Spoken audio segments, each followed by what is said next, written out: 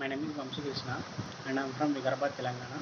I'm graduated from Bharat Institute of Engineering and Technology with an overall CPA of 7.07 in the stream of Computer Science and Engineering. Uh, before joining JSPiders, I don't know about the technical skills, uh, even though I am from CSE background.